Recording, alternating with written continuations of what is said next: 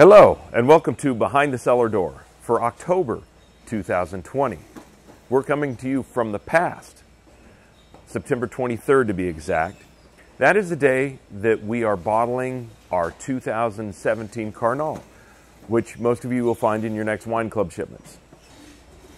Also on this day, we're bottling a 2019 Velato, which is Estate Viognier, and a 2017 Revolution, which is a uh, winemaker, winemaker blend that we have, um, featuring Petite Sirah, Tempranillo, and Tannat. It's an interesting blend that I know you can't wait to try. Um, what I'm going to do is bring a couple uh, shots to you here in the cellar, and then out on the bottling truck, uh, you can probably hear the glass rattling around uh, in the background. Uh, we'll probably do some shots on the truck and then come back out to talk about what's going on. Okay? First of all, the wine that we're bottling, and I'm going to be talking about the Carnal specifically, was in barrels. We took the wine out of barrels this past weekend. If you look over here, you can see the empty barrels marked 17 Carnal.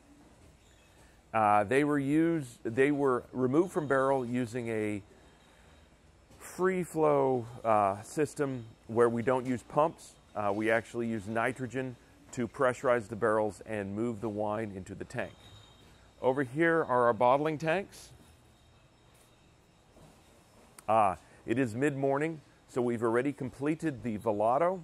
We're now working on the Carnal.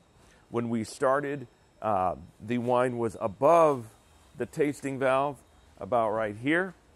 And now we're about halfway through the blend. And then we'll be moving on to the Revolution tank. And that uh, will probably take us till about 1.30 in the afternoon today. And our, our fall bottling will be completed. Now let's take a couple uh, looks at what's going on in the bottling truck and then we'll talk about it. Okay, I'm standing on the steps of the bottling truck. This is the uh, equipment that puts the wine into the bottles. And we have new bottles of 2017 Carnal making its way into the cases. And so uh, the empty glass is taken out of boxes and put on the conveyor belt. The first machine fills the bottles to exactly 750 milliliters.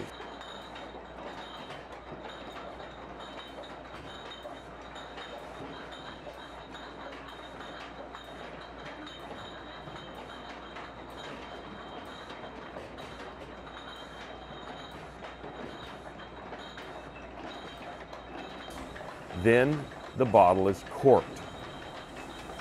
After that, a capsule is placed on, the shiny silver thing. Then it makes its way around to the label being applied. After that, the bottle is ready, goes to the beginning of the line or end, and is put in a case box, ready for shipment out to you. I hope you enjoyed your glimpse into the bottling line, and the final step in the winemaking process. Now the wines are packaged up and almost ready for shipment. In our next episode, look forward to information about this year's harvest.